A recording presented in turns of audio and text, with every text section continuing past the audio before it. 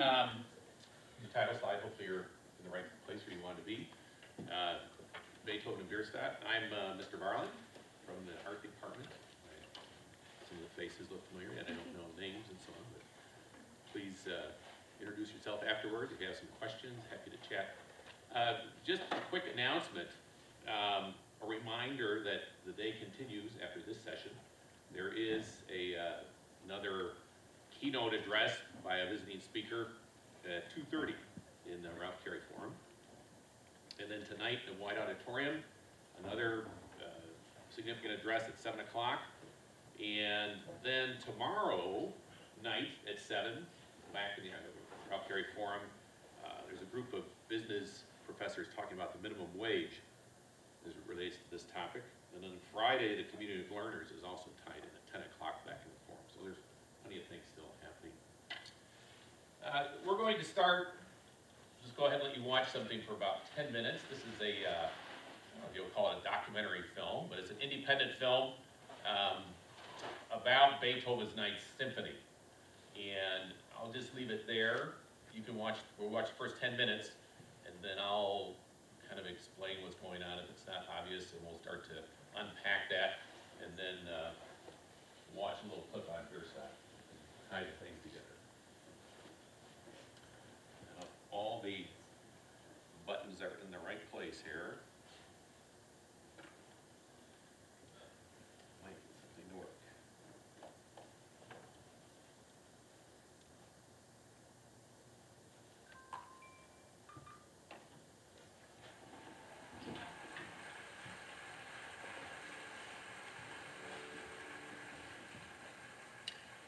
Yeah, so, um, how did it, how did it come to this? And what are we going to do if Beethoven finds out? We're all going to be in trouble. We're all complicit. That's why I'm nervous. So I was hired in, in 2007 to take part in the festival to celebrate Sorry, I'm the not opening of the sure Royal up Festival with the uh, text uh, there, which is one of our uh, think you can cultural palaces in London, that had been refurbished. In one of the uh, uh, meetings, the preliminary um, they were discussing uh, the Ode to Joy.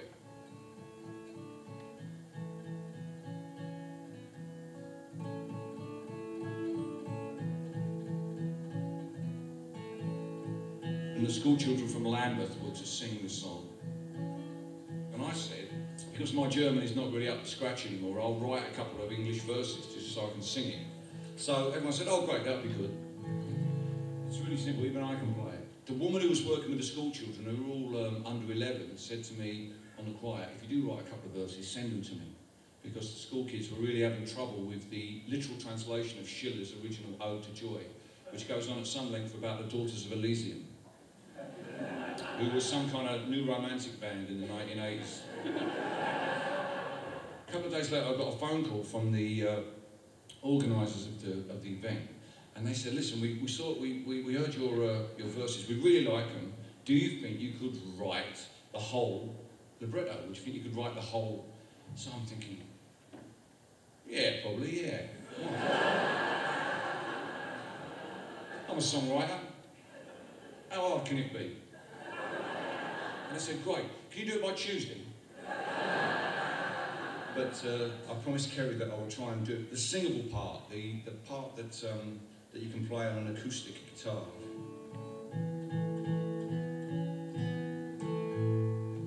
See now like a phoenix rising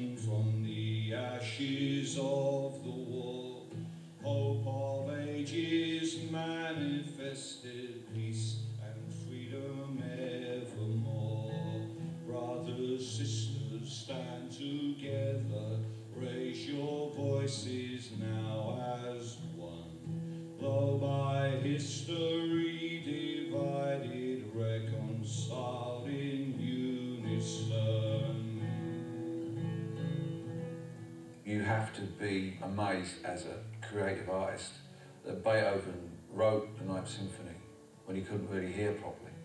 You know, it would be beyond your, your wildest dream. Off now the chains of ancient bitterness and enmity. And they did it for the closing ceremony. Um, it was absolutely amazing. And then, uh, and then I did it again and invited the Queen, which was, uh, which was nice. she hung around afterwards to shake my hand. We got a phone call from one of her footmen. Could Her Majesty have a copy of the score signed by Mr. Bragg? If I knew she was in that, I'd have brought a t-shirt.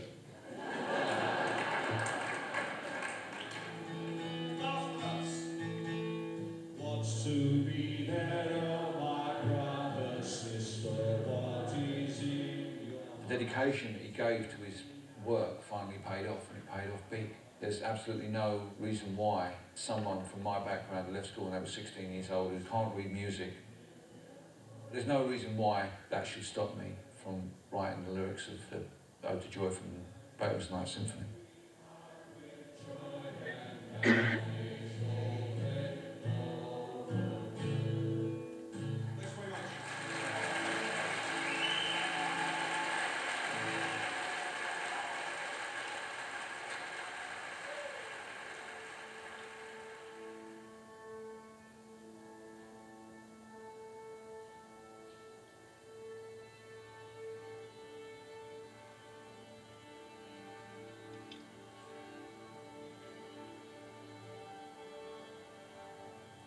Is a kind of creation story or an evolution story. I mean, the first thing is not a thing, it's a nothing.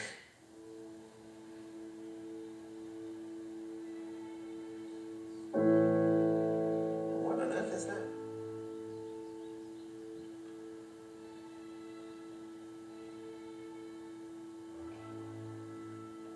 And then when it starts to move, the Spirit of God hovering over the waters, what you get is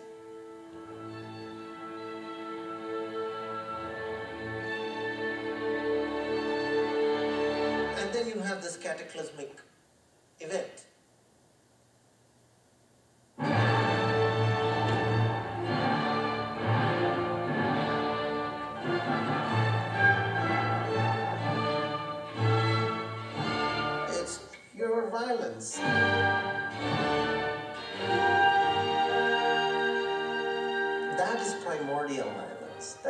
Big Bang.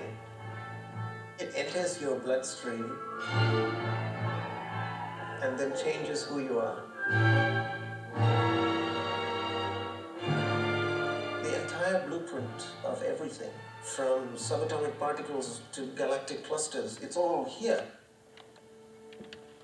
From Tiananmen Square, where it was played over the loudspeakers during the revolution, to the Brandenburg Gate in Berlin, where it was played when the wall fell down. It seems to express most completely what human beings are struggling for, what's possible for mankind.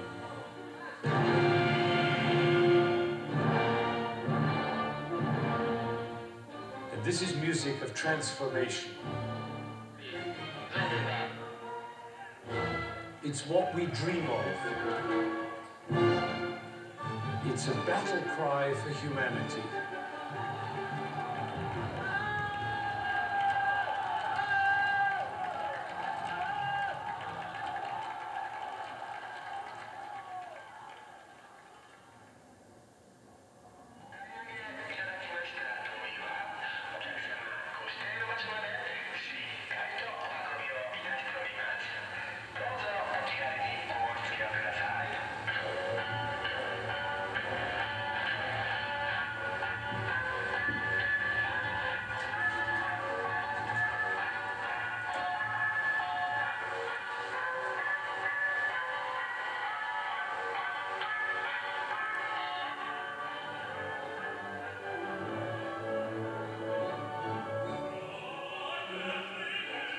Struck every December by the performance of nine symphonies all over the country.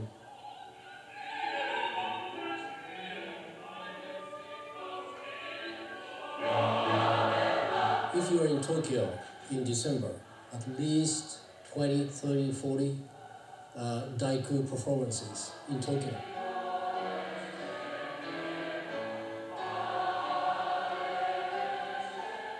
And all over Japan, I think there will be more than 100.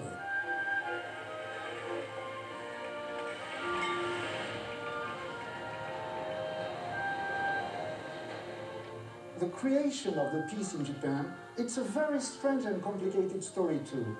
The beginning of the First World War, it had been done in a German prisoners camp. They had to take these, these guys as prisoners to Japan. But uh, they liked the guys. They did a lot of activities and especially they did sports, art and music.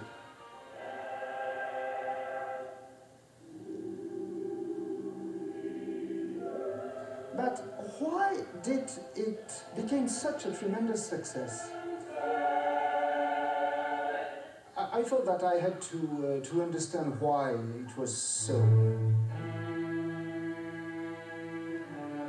Usually, uh, musics are played by professionals, even the chorus.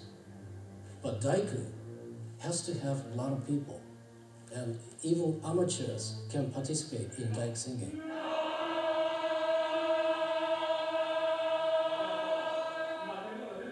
There are competitions, chorus competitions in Japan.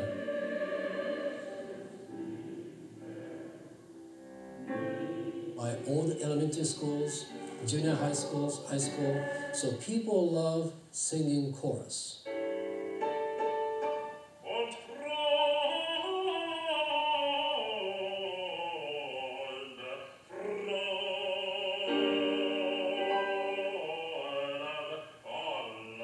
The motivation to sing is not a passion. So I, not a passion, but I need to sing. I need to sing. To live. Okay,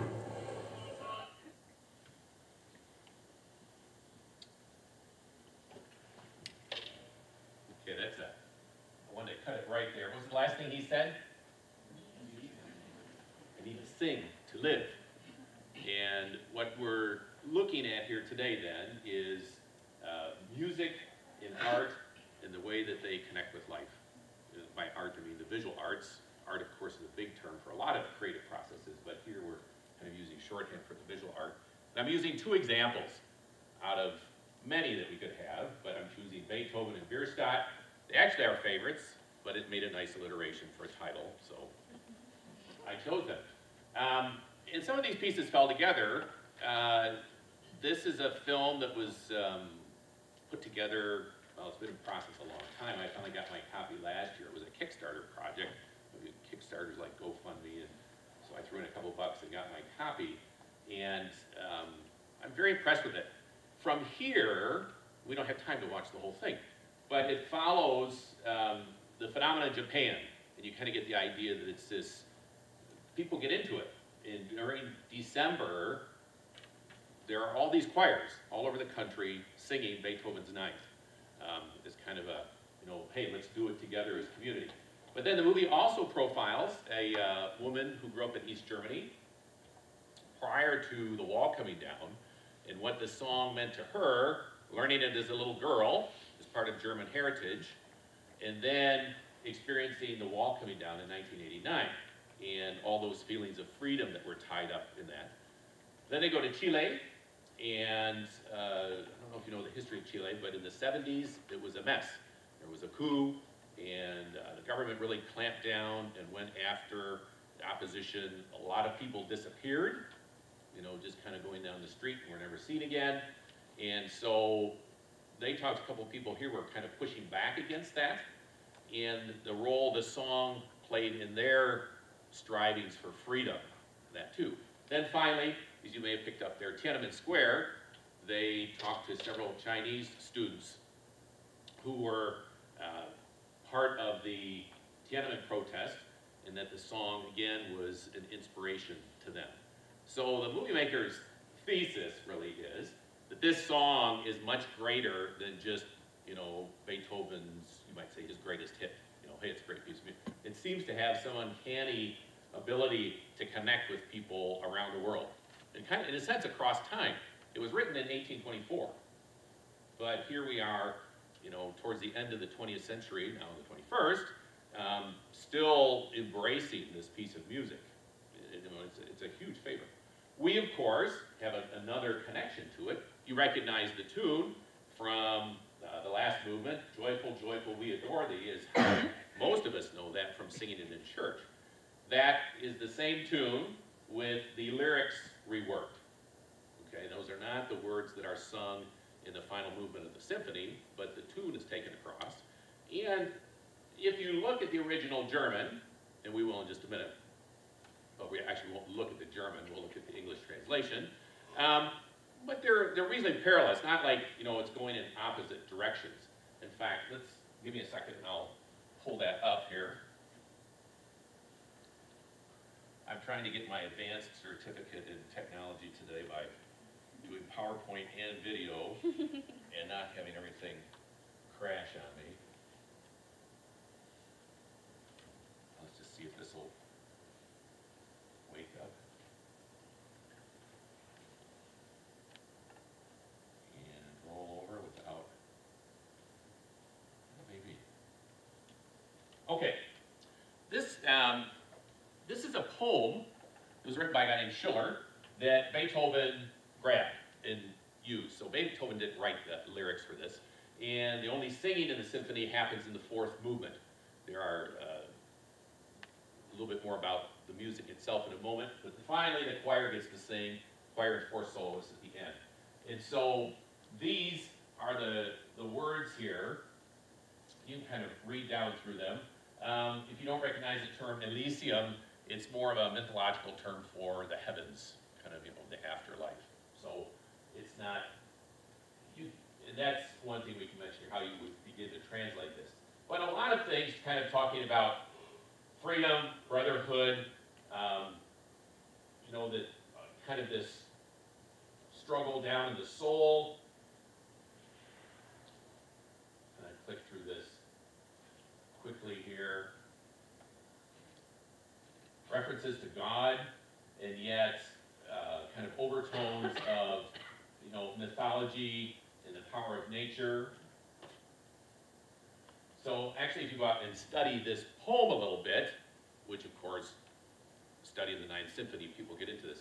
Um, it, people will usually say, well, you can kind of build your case. You know, is this really, you know, theologically sound here, or is this some kind of pagan, you know, rite? It really is somewhat of a mishmash, and um, I would argue it's, it's kind of a product of the times as the thought in Europe is starting to blend a lot of different ideas. Certainly, there's huge Christian momentum coming through the culture, but people are beginning to look at other things. And then, of course, it's poetry. This is not a philosophical treatise that is being argued point by logical point. It's speaking in broader terms. And so to kind of pin somebody on a word, particularly here now, you can find several English translations, of course, of the German. So you really would need to be more of a German scholar to even get into a good argument about uh, the meaning. But a broader context here, again, tying together, this fits in the Romantic period. And I would, um, again, connecting it to the theme for the day, what are humans for, that uh, the rom Romanticism, that period in the arts is a great place to study where um, artists say we need to go and explore the human emotions. Music had been coming through a variety of things, but just prior to the Romantic period music is the classical period.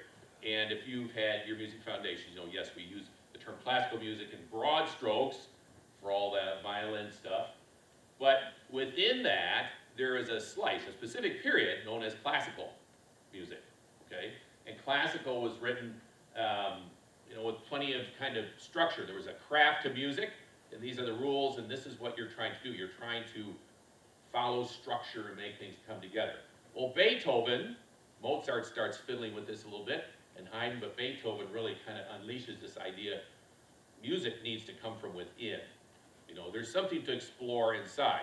Said, we're not going to make noise, but we're going to start pushing, we're not going to let the rules of structure and, okay, this is how you write a certain form of music.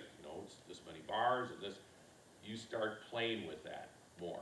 And Beethoven kind of unleashes, um, this is maybe a little overgeneralized, but I would say unleashes the emotional power of music. And the ninth symphony is somewhat of the culmination of that. Um, the length of this piece was groundbreaking. Symphonies prior to this had been much shorter. Um, this runs almost 80 minutes. Um, symphonies did have four movements. He decided to have a fourth. And the fourth movement itself, what we're mainly familiar with here, the kind of the choral section, is actually, if you break it down, kind of a symphony within a symphony. So Beethoven, and again, you probably recognize his name, really is on that very short list of, you know, the greatest musicians of all time, composers, if you want to use that word more specifically. I guess he's not so much a performer as he is a composer, but uh, creating music. Um, and, you know, around coffee, you can debate, well, you know, Mozart and Bach and those guys. But Beethoven was really out there in front, uh, kind of breaking the mold. Let me read just a couple of more comments from uh, an article that ran, I found fascinating magazine. What does Beethoven's Ninth Symphony really mean? And uh, I get into this, most of my students, some of you may have already been victim of this, um, whether it's, you know, in art uh, foundations or photography. In the visual arts, um, there's a pretty easy default to uh, content or subject matter, uh, particularly in representational art. Now, if you get into non-representational art, then we're experiencing more just kind of maybe pure design we're after. Or maybe some, supposed to do some imaginary work based on a title supposed to help us imagine something. But music, when you get into it, if you take the lyrics out of music, and you're not playing a tune that is really just a song without words, oh, I know those words already. But let's say like a horn concerto in F, okay? What's that supposed to mean? Okay, in the sense that we attach meaning to words or to, you know, objects out there. We kind of have a, an iconography, like a house, okay? House kind of can symbolize home and family. We attach meaning to things. But what do we attach to a horn concerto? Well, that, of course, opens up the discussion in all kinds of things. And this author then has come back and said, well, how do we, how do we attach meaning to the Ninth Symphony? He uses this example. And really example for a lot of music. How do we explain how it touches us so deeply? You know, it, it, I mean, it goes way down inside of us. And it's not necessarily, again, always connected to words. Just a couple of things here. Asking what a symphony means is a bit like asking what an eclipse means. One person says it's when the shadow of the moon passes over the sun. Another might say it means the cosmic energy is shifted. My horoscope's about to go haywire. Another says, what's an eclipse? Uh, if this is true of any old symphony, it is many times more so with Beethoven's Ninth, a monument, an act of violence akin to being squeezed in a mop wringer, a work of art so eloquently and bombastically expressive of something that everyone from Protestant hymn writers to Nazis to the makers of the video game Civilization 2 has insisted that yes, this is its true meaning. The ninth is a sphinx to which every earnestly given answer is both right and inadequate. Um, just, another half here. Uh, even the best musicologists haven't been able to agree on its meaning. Richard Taruskin called the choral finale a mounting wave, or better, a spreading infection of Elysium delirium. Maynard Solomon heard the herald of a deity who transcends any particularization of religious creed, a fusion of Christian and pagan beliefs, a marriage of Faust and Helen. Claude Debussy, a French composer of the early 20th century, made it out to be a magnificent gesture of musical pride. All would perhaps agree with one thing, Taruskin's assertion that the symphony means something, but that nobody can claim to have arrived at a definitive interpretation. So you can kind of put the meaning thing uh, to the side, kind of keep it warm on the back burner. But let's go back to this idea of uh, romanticism again. Um, we're going to transition now and talk about art, show you another short, well, it's actually a shorter clip, and then try to tie the two together. But um, I don't know if any of you have studied literature. There's Romanticism really has its greatest showing in the arts, again, art, music, and literature. Um, so you might be able to connect, make some connections. However, an interesting phenomenon is they don't all happen simultaneously. If you kind of chunk out the calendars in each of those, they are staggered, and yet you can be, you can connect the ideas that influence one another. But let's take a minute to watch a piece of, uh, from the archives, actually some VHS tape. I know it's kind of scary. Um, if we get everything to behave here. Change projectors around again.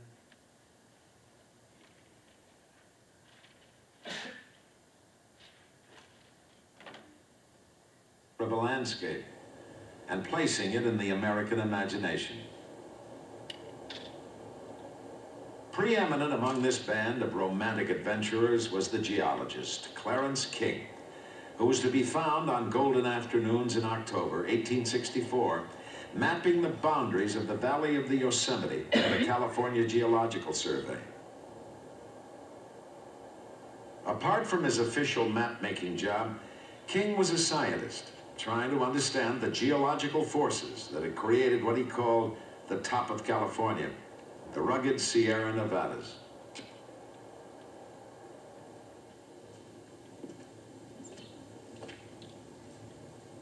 One day, taking a break from surveying, King and his assistant walked across the valley, over great slabs of granite worn smooth by glaciers. King heartily enjoyed such jaunts and was the enthusiastic supporter of the strange and dangerous practice of climbing mountains and glaciers simply because they were there, for the sheer excitement and pleasure of it. On this particular afternoon, he began a precarious ascent of the walls of the Yosemite to a place that was to become famous. King was looking for something some clue or explanation that would vindicate the scientific theory of catastrophism, a world suddenly formed by violent titanic forces, earthquakes, volcanoes, melting glaciers. At the top of the canyon, King walked out onto an overhanging rock and found what he was looking for. His description of that afternoon and what he saw is tinged with poetry. For him, the sheer power of nature was mesmerizing. It was impossible for me, as I sat perched upon this jutting rock mass, not to imagine a picture of the glacier period. Granite, ice and snow, silence, broken only by the howling tempest and the crash of falling ice or splintered rock. These were the elements of a period which lasted immeasurably long. Can there be anything more opposite to that past period than now? All stern sublimity, all geological cataclysm are veiled away behind magic curtains of cloud shadow, broken light. But maps and words and cataclysmic theories were not enough to capture the drama of Yosemite. One needed an image on a gigantic canvas, paintings on a grand scale to convey this kind of scenery. The public back east was eager to see such grand landscapes. In 1864, a giant exhibition of art was mounted in New York City to raise money for the wounded soldiers of the Civil War. Ladies and gentlemen, behind the ramparts of living flesh which our brothers in arms have formed, we have pursued the giddy chase after wealth. We have bought and sold and gathered our gain as quietly and as serenely as if the peace of the country had never been ruffled. This was quite an auspicious moment for the artist Albert Bierstadt, since one of his greatest paintings, called The Rocky Mountains, was to be judged in these halls and inevitably compared to this huge canvas. This is the heart of the Andes. It was painted by the great Frederic Church, who had already received considerable acclaim for such exotic earthscapes of South American jungles. Though the artists were friends, the press heralded the fair as a no-holds-barred contest for public favor. A showdown between giants who both created paintings of gigantic dimensions. I can give you any idea of the scenery of the Rocky Mountains, all of our journey into that region, oh, I shall be very glad. I found the scenery to be beautiful, and those mountains, they resemble very much the Bernese Alps, one of the finest ranges of mountains in all of Europe, if not. What was unique about this kind of painting was that it was both immense and intricate. Visitors to the exhibition brought or rented opera glasses to zero in on the details.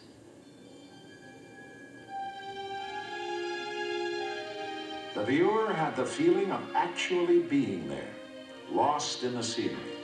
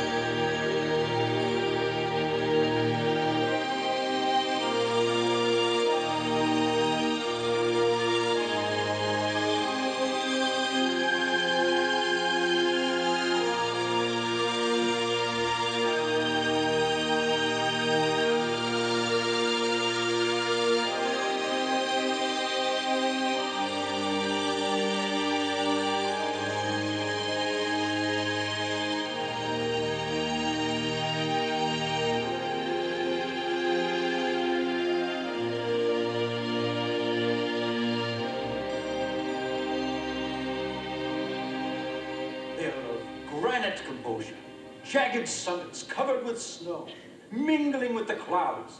Ah, they present a scene which every lover of landscape may gaze upon with unqualified delight.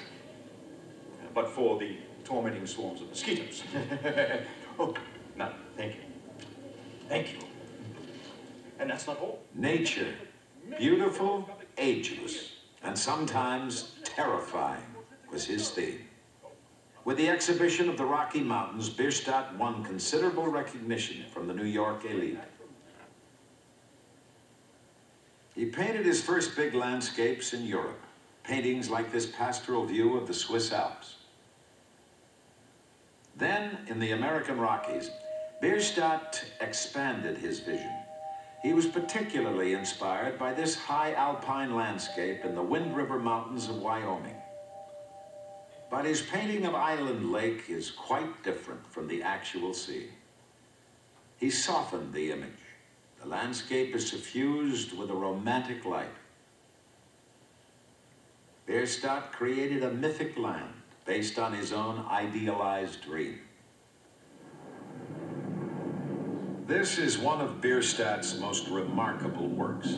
It's not only a testament to the divine grandeur of nature, it's also a memorial to the artist's love for a beautiful woman. The painting is called A Storm in the Rocky Mountains, Mount Rosalie. The inspiration for the work was Rosalie Osborne Ludlow. She became Mrs. Bierstadt after the artist seduced her away from her previous husband, Fitzhugh Ludlow. He was a journalist and a writer of a celebrated book on the drug cult of hashish, and he had been a friend. Ludlow had accompanied the artist on his treks in the West. He created a picture in words of the Rocky Mountains, the same kind of romantic and mystical image that Bierstadt was putting on canvas. An everlasting Sabbath graced the mountains, climbing range on range to the far glittering snow. They were like the stairs of heaven after the lost soul has ascended out of earth. Mountains seemed hopelessly apart from us, like the glories you try and grasp in a dream.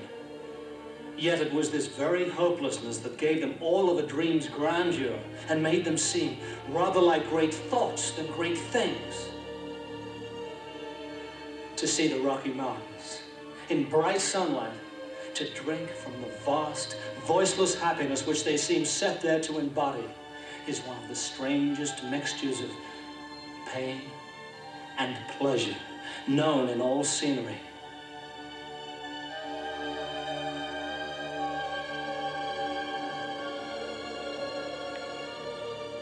Within a decade of the Civil War, the no man's lands that Clarence King pioneered, the unknown regions that Bierstadt painted and Ludlow described, became a magnet for the new adventurers in the West, the tourists. The tourists.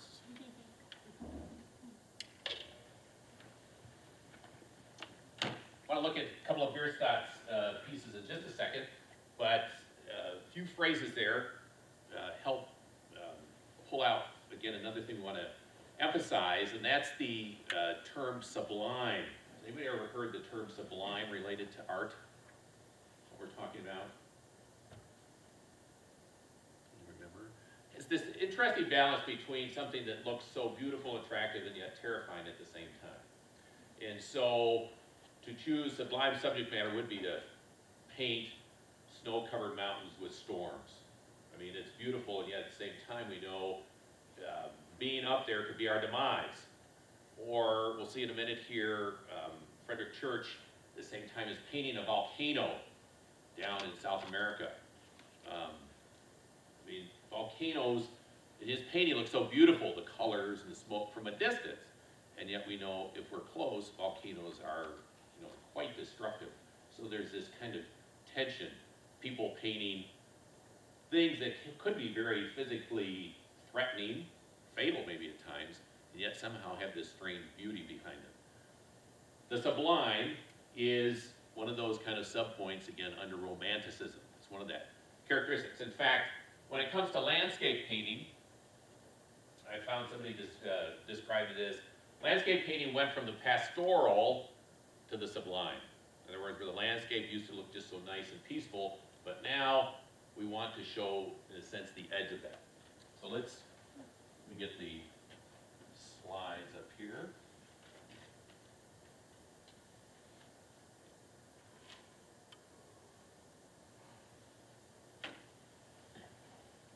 Find my clicker. Okay, just, we've been talking about uh, just a quick comparison here, a little table. But coming out of more classical idea, and you can see how they go cross, more leaning towards emotion, feeling, uh, excess and exuberance. Um, Beethoven's writing a longer symphony, he's adding more instruments than usual. Actually, um, one of the first times we hear trombones in a symphony. Usually they've just been put aside for church music, but he's in a symphony, a mass chorus.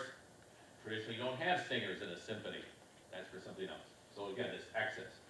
Subjectivity rather than objectivity, um, not sure how I would exactly, um, apply that to Beethoven, I'd have to think, but certainly Bierstadt's paintings, uh, will mention, these are not photographic scenes in the sense you go stand there and he was accurate at representing it. Most of them are composites. Know, okay, there's a mountain, but then I've changed the foreground and moved things around, changed the light to make a beautiful picture. So that sense of subjectivity, balance and that order, proportion, freedom, course, of expression. Here's Mr. Bierstadt. You can decide if the movie guys matched him up very well. His beard looked a little wilder in the other one. But here's the piece they were talking about. Uh, Lander's Peak. Let me pull the lights down just a little bit. Maybe you can see that just a little better. Okay. And part of the excess here again is this painting is uh, six feet by 10 feet. Um, these uh, weren't the first large paintings. People had done large canvases before. But to work uh, something this scale and then to get into the detail in here, we'll show a couple of details, was somewhat groundbreaking. Um, this is the center section, and you can see, we've got another close-up minute, but you can see even this attention to little figures here, and the reflection of the lake, which you go back a second, now you can see, oh yeah, okay, this really helps define the water rather than just, oh, we got water, where's my blue paint? Um, you know, this makes the, all this foreground again, all the detail that's down in here. Um, and while it looked a little squirrely there in the film, that woman picking up her opera glasses and looking at the painting, that's mentioned in uh, numerous books that people did. I mean, obviously, you can go up and stick your nose on the painting, and so in order to see some of those details and enjoy them, people were using, you know, some kind of optical assistance. And then finally, the mountains in the background. And part of um, painting term we talk about is atmospheric perspective. In other words, things in the distance aren't quite as sharp. Well, really kind of pushes, fudges on that a little bit, trying to show us, you know, yes, this does look like the distance, certainly because of size, sorry, um, but he's paying plenty of attention to the individual crags and outcroppings and so on. So he gives us a real target to look at in the distance. And there's foreground here, you know, all kinds of uh, detail in the middle, his signature shaft of light coming through, which we'll mention in a minute, and then some other paintings, and then plenty of detail back here. It's not just some kind of smoky haze. This is what I mentioned as far, prior to uh, um, Bierstadt and others who started painting the sublime, this is more, we'd say, a pastoral landscape. In painting, American landscape painting, uh, this is kind of the first big wave known as the Hudson River School. Uh, this is technically the Connecticut River here, but Thomas Cole and a group of other painters really tried to capture the American landscape. But they showed it as a, somewhat of as a Garden of Eden idea. Here's a peaceful, beautiful place to live. Okay, that was the set of lenses you looked at the landscape. Um, but then as we start to move towards the sublime, uh, Frederic Church is another one. We'll see another piece of his. But one of his famous works is uh, Niagara Falls. This is a good example. I mean, there's beauty there, and yet the falls are somewhat terrifying. I mean, if you stand there on the edge, if you've been there, that water rushing, or imagine yourself in a boat that is about to go over, there's a sense of fear mixed with the beauty. This is uh, going back a little bit in Bierstadt's um, work from the, his kind of signature piece there, the Rocky Mountains. A couple years earlier, well, he's still trying to gain some exposure, get some traction, but the elements are still here. You can see the light coming back in, creating this dramatic scene, towering mountains, and yet, you know, kind of the noble savage here in the foreground, the Indians living in peace with nature, you know, being able to survive. So once again, detail with reflection, taking the time to work all that out. Um, waterfalls, and again, the detail in the rock. So even though these are large paintings, there's plenty of detail in. And we've got, you know, Indians doing their fishing down in front. Uh, this is the one that was also mentioned in the tape, uh, Storm in the Rocky Mountains. Even a little more drama here. Um, we'll get a close-up in a second and see we got Indians, I think, chasing some deer down here in the foreground. This illuminated center stage, you know, just this kind of celestial almost, you know, as the heavens are opening. And then what do we have in the background? Mount Rosalie. You know, all of this storm, and you could get very symbolic here about the, you know, the storm of life and so on, but who, this is his beautiful, you know, love, and there is a Mount Rosalie in Colorado that's part of the story. I mean, it's, it's named after, but, you know, so clear, uh, coming up above the clouds. There, you know, again, the detail, working the clouds here, I mean, this is almost, you know, the amount of work here, you say, well, that's a nice painting in itself, the way the clouds have been developed. Foreground, sorry, it's a little dark here in the shadows. We've got the deer and some Indians running, one on horseback, I think. And again, the playing with the light here. There's actually a, uh, a subset of artists about this period, you know, kind of under the romantic landscape called the Luminists, who are really into light. They're the ones that want to say, okay, this is painting about landscape, but it's really about the light on the landscape. Um, another large one, the, this is seven by 12 feet, and again, plenty of emphasizing reflection and dramatic light. More details on the net. Waterfall. Foreground. And these guys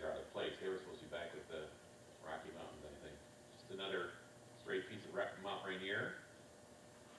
Finally, his immigrants uh, crossing the Plains Oregon Trail, which um, I'm surprised we didn't put in the uh, tape series because this really does paint the um, know, the westward experience as kind of this mythic quest, um, you know, headed for the land of Eden.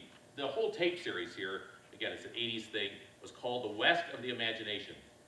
And so it's really talking about how we imagined the West and that propelled us to explore and how the arts portrayed it, and they look at a whole bunch of different people, but certainly the, the visual arts, and Bierstadt is one of those, who, as you imagine those people standing there looking at those paintings, that's the only thing they have to go on, right? Okay, it's always a good reminder, here in the 21st century, we are inundated with images, we can see pictures of anything. But if you go back to the Civil War, black and white photography is just starting, most people didn't vacation in the West, since there wasn't a very good way to get there yet. And so all you do is hear about the mountains of the West. And so to be able to see a painting, this kind of thing really defines it in people's minds about what, you know, this looks like. And you can see how that would propel their imagination. Let's see what, how we're doing on time here. Well, looks like we've got about ten minutes left. Um, I'd like to, think I'd like to show the um, last couple minutes of the Beethoven film, kind of bring it to a conclusion. But first, before I do that, any questions that you're just itching to ask before we go on, or something I can clarify? Okay. Again, the, the premise here, trying to tie it to the title of the day, What Are Humans For, is uh, here we would say to express, you know, to create our, that being human is to create. And the Romantic era is one of those highlights where creativity kind of breaks off in a new direction. And Beethoven and Bierstadt make some grand statements here with their paintings and their music. Um, both had the, the luck here of actually being uh, popular and well received while they were alive. Beethoven was highly respected, and people were very anxious to hear his newest compositions. Um, when the Beethoven, when the ninth debuted, uh, there was a scramble for tickets. It was kind of limited to you know the uppity ups who could get in. Uh, Bierstadt set records for selling his paintings while he was alive. He was commanding the highest prices of anybody for painting in the U.S. The funny thing about Bierstadt, though, is he died um, kind of in obscurity because this style of painting by the 1870s was on its way out. Mean, some of these are right at the end of this popularity with the rise of Impressionism. And people's taste started to change. And as more people went west, they saw the actual thing, and these didn't provide that key spark of imagination that they did originally. Bierstadt has since regained a reputation in the 20th century as people study. So let's watch the last few minutes of the movie. The right clickers here.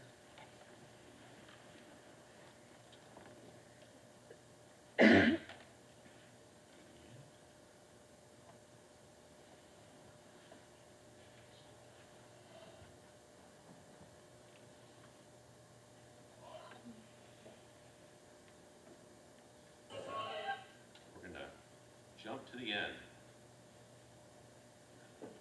So,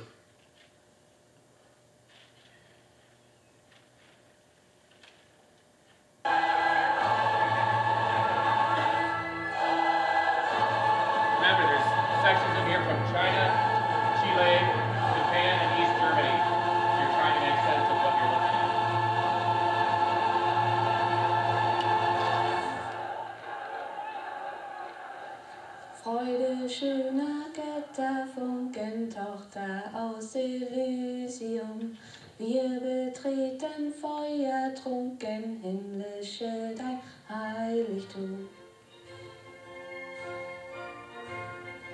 With all these amazing events taking place in 1989, Leonard Bernstein took an opportunity to conduct Beethoven's Nines in East Berlin on December 25th.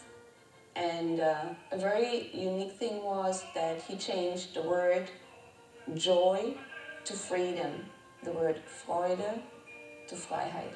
That line and the complete ode to joy for me is all human beings are equal.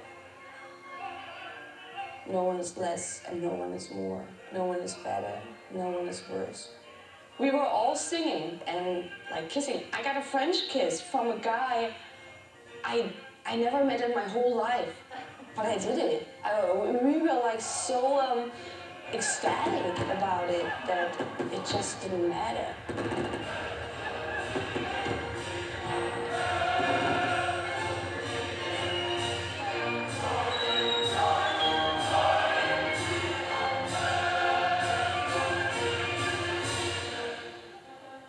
When the wall came down, I was very young.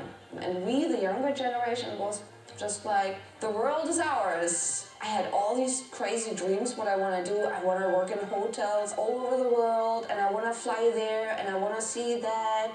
And I was not afraid of anything. And I just did it. It completely changed my life. It changed myself and how I looked at life and what I wanted from life and what I can do, what I'm capable of.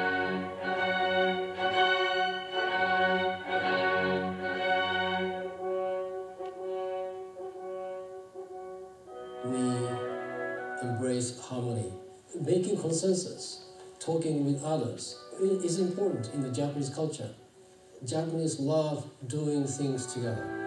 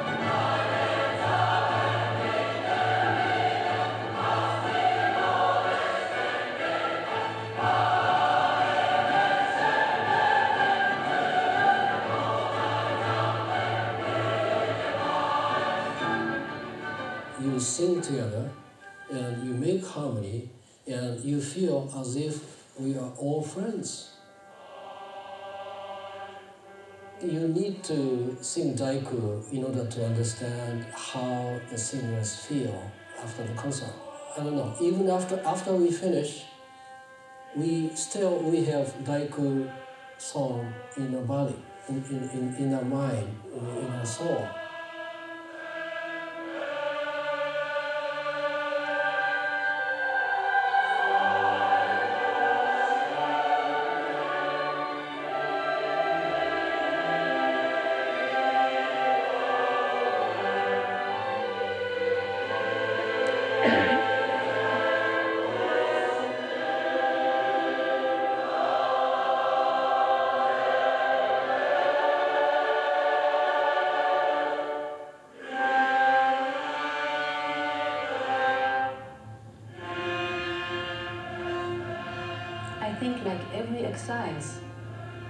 When people have to go somewhere This is the woman who was to a in Chile. place that we didn't choose, is the feeling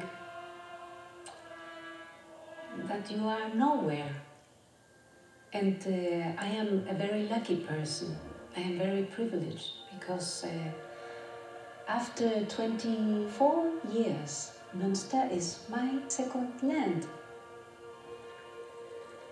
But I feel I belong to two pieces of earth and I, I belong everywhere. but it's this uh, pain is always inside. This lost paradise that I take in my hands everywhere where I go.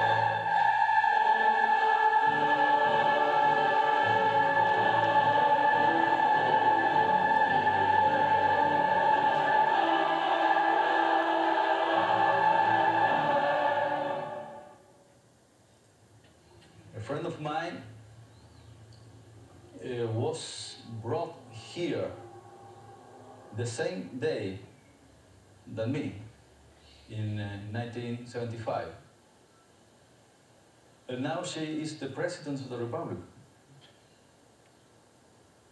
Michelle Bachelet was brought here on the same day than, than me.